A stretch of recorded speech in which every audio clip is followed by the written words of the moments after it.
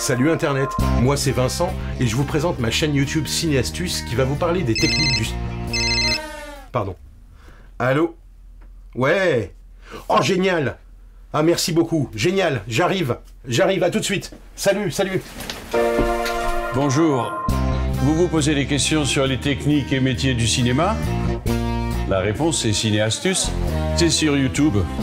Cinéastus. Abonnez-vous.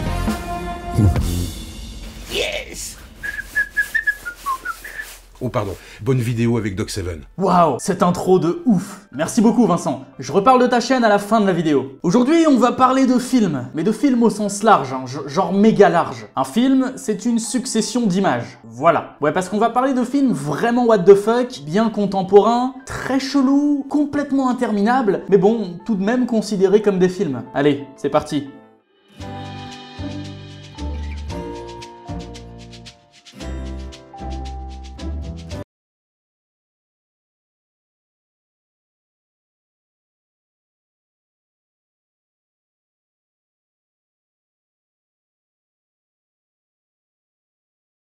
Sleep est un long film. Il est loin de faire partie du top 7 des plus longs films du monde, mais il fallait que je vous en parle. Ok, j'ai rien contre l'art contemporain, mais parfois tu te dis que les mecs sont pas gênés. Sleep se résume en une phrase. C'est un film muet de 1963 qui dure 5h20 et qui représente John Giorno, l'amant d'Andy Warhol, en train de dormir. Voilà. Il y a plusieurs axes de caméra, certains plans se répètent, mais ouais, c'est ça. Un gars qui dort pendant 5h20. Et si on lit les coupures de journaux de l'époque, c'était pas la joie dans les salles de ciné. Le jour de la première, environ 500 personnes étaient dans la salle. Les premiers commencèrent à quitter la séance seulement 15 minutes après le début du film. Et à la fin, il restait à peine 50 personnes. Sachant que le film démarre par un gros plan de ventre qui dure 45 euh, minutes, je peux comprendre que les gens vous laissent faire rembourser. Bon, et si vraiment vous êtes dans le trip et que vous voulez le voir, Warhol a fait deux espèces de suites. Une qui s'appelle Kiss, où pareil, hein, c'est muet et pendant environ une heure, plein de couples s'embrassent. Et l'autre qui s'appelle Hit, dans lequel un mec mange des champignons pendant 40 minutes. Voilà, amusez-vous bien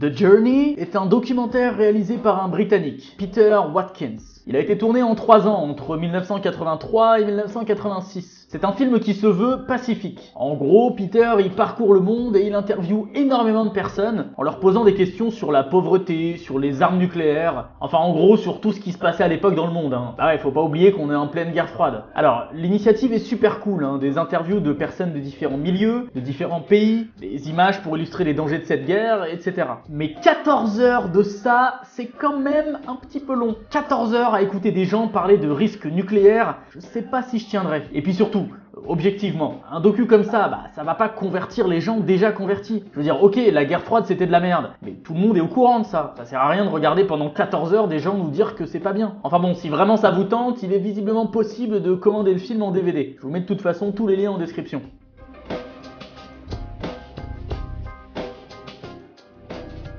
Ok, lui, c'est un génie. Le concept de ce film est dingue. Christian Marclay a réalisé The Clock sans tourner une seule image. Le film dure 24 heures pile poil, on est censé commencer à le regarder à minuit et le finir à 23h59. Si c'est le cas, bah 6 heures plus tard, hein, à 6 h du matin, il sera également 6 h du matin dans le film. Ok, je me rends compte que j'explique ça super mal. Alors, en gros, avec une équipe, il a fouillé dans des milliers de films dans toute l'histoire du cinéma. Des films muets, en noir et blanc, des séries B, des des westerns, bref. Et à chaque fois qu'il y trouvait une indication de temps, que ce soit une horloge, une montre, un réveil, un dialogue, il le prenait. Et à la fin, il a assemblé tout ça. Par exemple, si vous regardez le film à 17h23, vous verrez à l'écran une horloge ou une montre qui indique 17h23. Bon, dit comme ça, ça a l'air super chiant, hein. Mais heureusement, il n'a pas mis que des images d'horloge. Pour chaque extrait, il laisse courir un peu le film en question. Et on se retrouve avec un mélange de milliers de films. C'est sans queue ni tête, mais je vous jure que pour avoir vu un extrait, c'est captivant. Pour le coup, celui là peut-être que j'accepterai de le regarder jusqu'à la fin.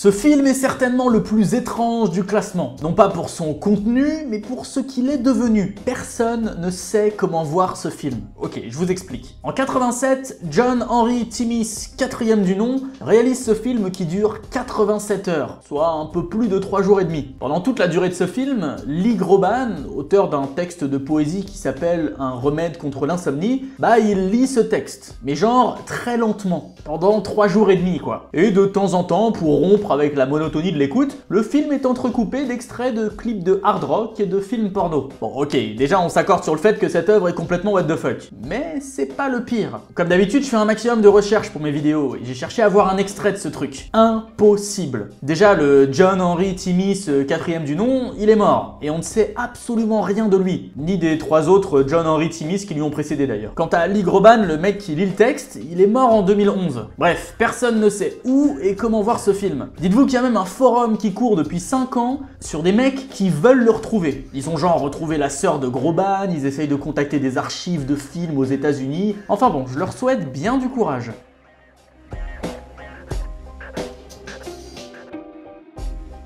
Le français du top. Cinématon est un concept très célèbre, mais qui ne cesse de m'intriguer. En 77, Gérard Courant démarre sa série de Cinématon, qui sont des courts portraits de 3 minutes 20, muets, de personnes plus ou moins célèbres. Au début de chaque portrait, on y voit le nom de la personne, le numéro du Cinématon, la nationalité et la profession de la personne, ainsi que la date de tournage. Je trouve ce concept génial, parce qu'on y retrouve de tout. Des gens qui fixent la caméra sans cligner des yeux pendant 3 minutes, des gens qui font les pitres, d'autres qui regardent jamais la caméra, d'autres qui sont gênés, etc. Et le truc fou, c'est qu'à l'heure actuelle, cette succession de cinématons, qui continue encore à tourner, hein, eh ben elle comprend presque 3000 portraits et dure 195 heures. Ouais, plus de 8 jours non-stop. Beaucoup de ces portraits sont disponibles sur YouTube si ça vous intéresse, et faut savoir que c'est un véritable succès. Même des grosses chaînes de télé en ont diffusé certains. Et tenez-vous bien, certaines rétrospectives intégrales ont déjà eu lieu dans plusieurs villes du monde. Non, franchement, il est fascinant ce projet. Mais bon, courage pour le regarder en entier. hein. Pour ceux que ça intéresse, je vous mets en description le lien qui liste les 2936 portraits existants à l'heure actuelle.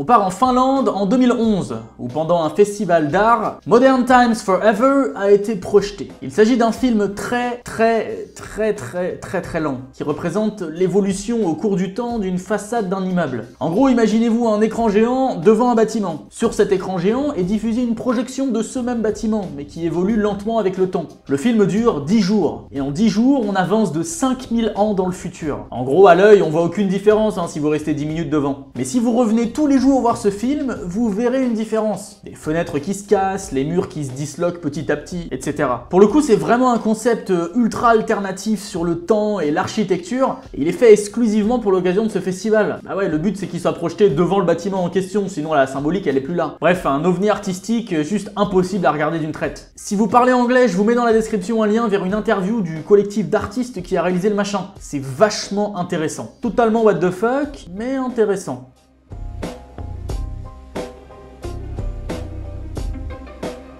Bon, celui-là, j'ai hésité à le mettre dans le classement, parce qu'il est vraiment à l'ouest et pas toujours reconnu comme un film. Bienvenue en Suède. En 2008, les deux artistes Erika Magnusson et Daniel Anderson ont une idée. Ils se disent euh, cette machine à café là, elle vient de l'autre bout du monde. Et ce téléphone portable aussi. Et même ce podomètre. Est-ce que tu imagines la logistique pour faire venir un si petit objet de l'autre bout de la planète? Mec, j'ai l'idée du siècle. Imagine, tu fais le chemin inverse. Genre, euh, on fixe une caméra sur un camion qui part du magasin où on a acheté le podomètre. Ce camion, il arrive à la gare de fret. Là, on fout la caméra sur un train qui fonce vers le port. Et là, on prend la caméra, on la met sur le conteneur dans lequel se trouvait le podomètre. Bon, après, on la laisse tourner un moment, hein, le temps que le bateau arrive en Chine. Et là, mec, on reprend la caméra, on la remet sur un camion jusqu'à l'usine où le bidule a été créé. Mais c'est une idée de ouf. Bon, plus sérieusement, ce film a été projeté dans deux festivals, un en Allemagne et un en Chine. Mais je suis pas sûr qu'ils l'ont diffusé en entier. Bah non, le festival en Allemagne, par exemple, il durait du 21 juin au 12 juillet 2015, soit 22 jours. Sauf que le film, euh, comment vous dire Bah il dure 37 putains de jours 37 jours à regarder un porte-conteneur qui navigue de Suède en Chine. Je l'ai déjà dit, j'ai rien contre l'art contemporain, mais franchement là les gars, vous abusez un peu. Voilà, c'est déjà la fin de la vidéo. Alors aujourd'hui, je voudrais vous parler de la chaîne Cinéastus. Cette chaîne, c'est un très grand monsieur qui la tient, Vincent Tully. Bon, il est pas très connu, hein, il a juste euh, deux Césars et a bossé sur des petits films comme euh, Taxi, Les Rivières Pourpres ou encore Le Transporteur. Et non, ce n'est pas une énième chaîne de cinéma. Il n'y a pas de chronique sur un film. Non, Vincent, il vous apprend le cinéma. On voit les coulisses, il interviewe des géants du métier. Enfin bon, vous savez que c'est ma passion, donc je ne peux qu'adorer cette chaîne et vous la recommander à mort. En attendant, n'oubliez pas de partager la vidéo à vos potes et de flinguer ce pouce bleu. Moi je vous dis à très vite pour une nouvelle vidéo. Salut Internet